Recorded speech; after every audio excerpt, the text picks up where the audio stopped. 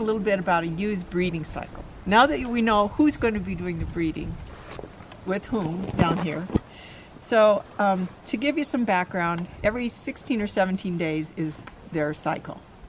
So, and their gestation or their pregnancy is um, 145 to 152. So I figure five months. Okay, so five months to make the baby. So we always want ones with have, that have a body condition of three or more. You know, you've seen that. You chose accordingly. To get the maximum ovulation, they need to be on an ascending weight gain. They need to be feeling like Oktoberfest, life is good, let's make lots of babies. You know, so they they have to be growing in their uh, in their life is good. No parasites, feet trimmed, you know, everything all in ready. A mature ewe has an average estrus that lasts uh, uh, fertile time that lasts 30 hours. And the first timers, theirs lasts only about 15 to 18 hours. So, and interestingly enough, rams always seem to prefer the older ewes. Yay! um, it's the scent of the ram that brings them into heat. So one of the strategies that I can do because I have so many sheep is that I I put the rams in a strategic location in group, and then I put the girls far enough away that the ram won't get through, but that she can smell and observe.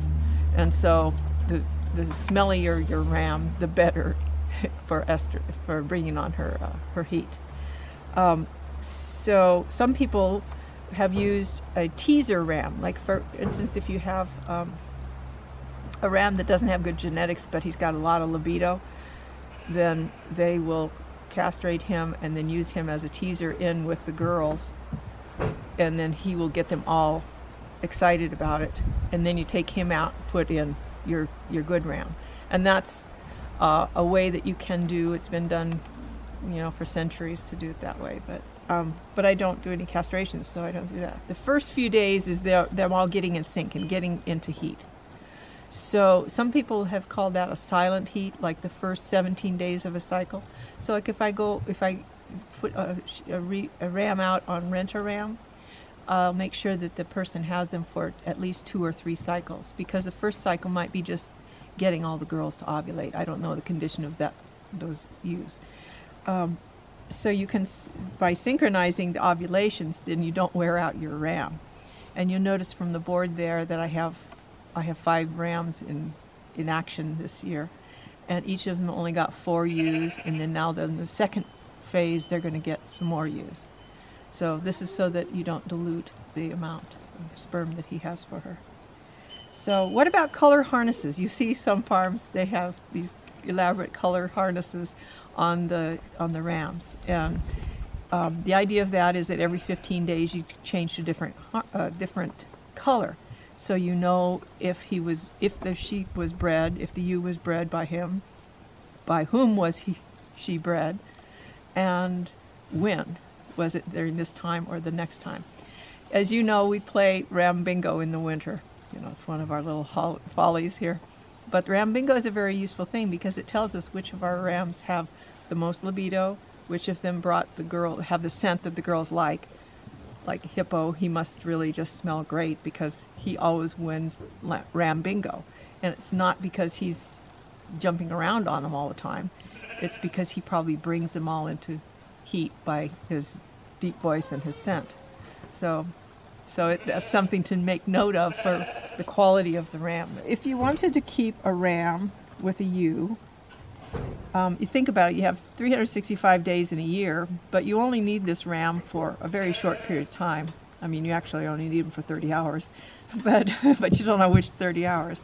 So I keep them in for two cycles, and then I, if I, if, according to the genetics chart, then I can at that time swap and put in one of the beginner rams to see how he performs whether he's interested, whether they like him, etc. And also, if there were one that wasn't bred for some reason, then he would be able to cover that girl.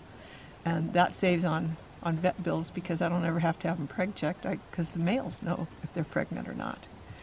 And it, it's a, it's part of the training of the young rams is to get with some of the experienced ewes and then they get the picture. Hello, 550. So we're going to go down here now to, to see Casper. He's a big guy. And he has what every ewe needs from the ram. He has really good testicles. He has large testicles. In traditional times, they would uh, actually, like if you went to an old fair in Ireland or England or somewhere, they would be pulling out their measuring tape. I meant to bring one today for you.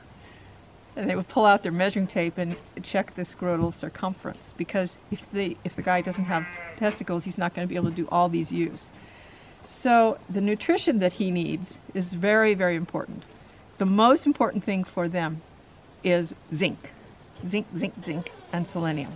They have to be up on their zinc and selenium because without zinc supply, the swimmers won't be swimming the ram should have a body condition of three plus. If you if you are choosing among your rams that you're going to use to breed, um, you would want one that's a little bit overweight because he's going to work so hard chasing those girls. If you are in a place where it's really hot and humid, if you were in your home base, you'd better make sure that the ram doesn't get too overheated because um, that's the reason why a scrotum hangs down is so that there's air ventilation.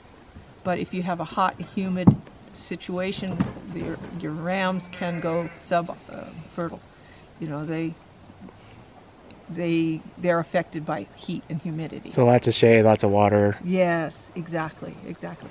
We don't have that problem up here. Right. Ours stay really cool. okay, and so and if he smells bad to you, then he probably smells good to her. All right, let's go down to see him.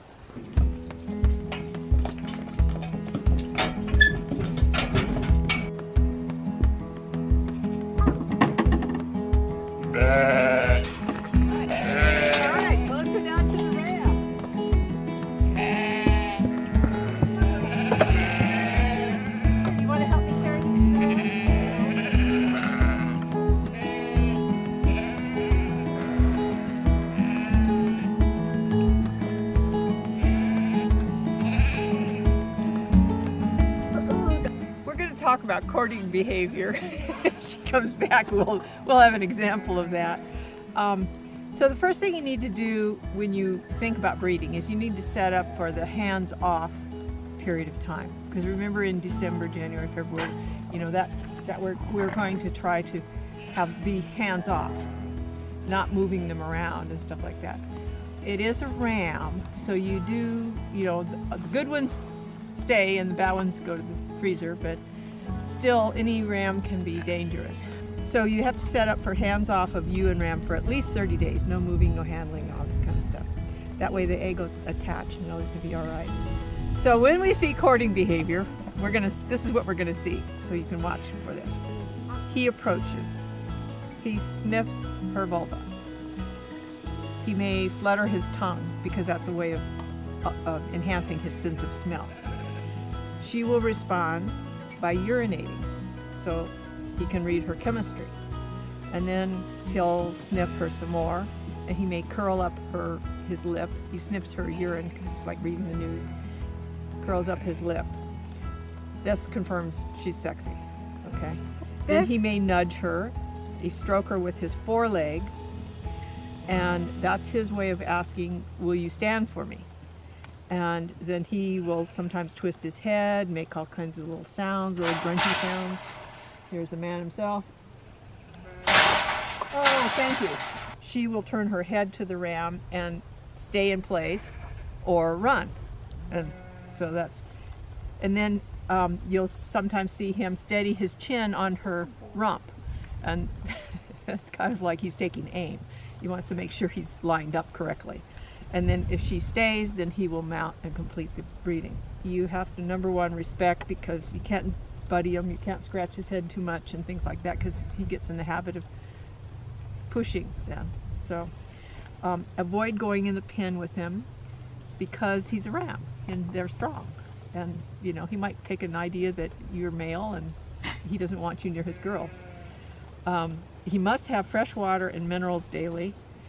Strong fences. Don't underestimate. Don't underestimate the strength of him. Um, I ewes physical fence, and I've had them go over the fence easily. That's why I don't put use on one side of the fence and him on the other. There's a whole pasture in between. Um, if you do electric fence, you have to have six to seven joules. Now, a joule, for those of us who don't remember about electricity, is one volt per one second. So you need six or seven, so it's like a big wallop to say, no, you can't go over there.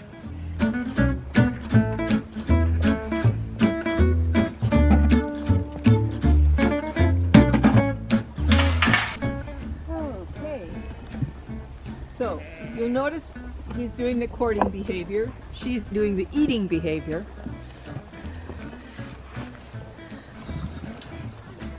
So pretty soon he'll say, will you stand for me? So he'll be licking with his mouth, just trying to catch the scent. Will you stand? Will you stand? She turns her head to him like, well, I'll consider it.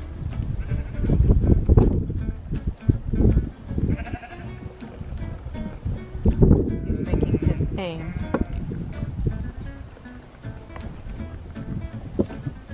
She's not particularly, she's probably not in, in estrus right now.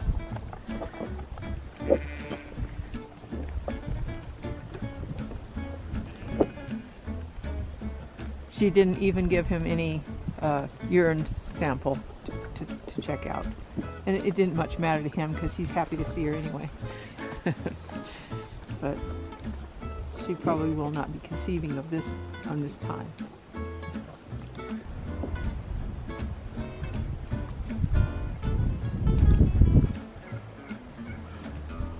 I'd say he's quite efficient with his time. Yes.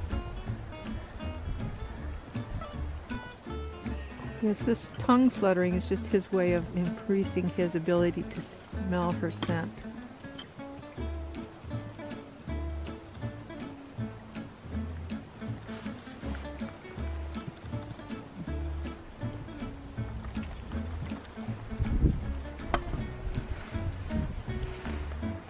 Casper.